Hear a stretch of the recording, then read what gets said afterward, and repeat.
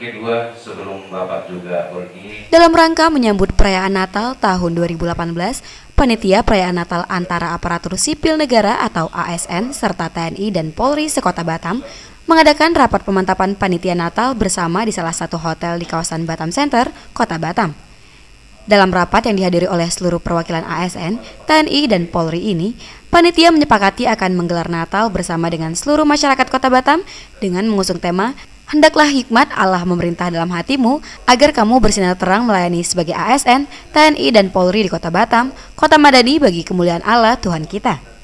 Ketua Panitia Natal Bersama terpilih, Filpan Dilaya menuturkan, Natal bersama yang akan dilaksanakan ini bertujuan agar ASN, TNI, dan Polri serta masyarakat yang khususnya tinggal di Kota Batam dapat saling mengenal dan bergandengan tangan untuk membantu dan mendukung pembangunan di Kota Batam. Eh, ini adalah eh, rapat terakhir di mana kami telah rapat beberapa kali yaitu panitia Natal TNI Polri ASN tahun 2018 sekota Batam di mana kami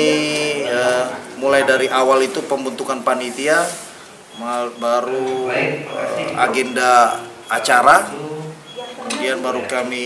koordinasi dari semua lini dan inilah pemantapan untuk eh, acara Natal bersama ini. Filpan menambahkan, Natal bersama yang akan digelar pada tanggal 7 Desember 2018 ini merupakan agenda rutin yang dilakukan setiap tahunnya oleh ASN, TNI, dan Polri serta masyarakat di Kota Batam.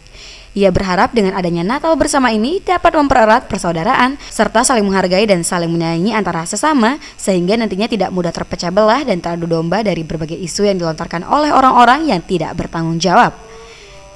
Dari Batam, Kepulauan Riau, Pascal yang hebat melaporkan.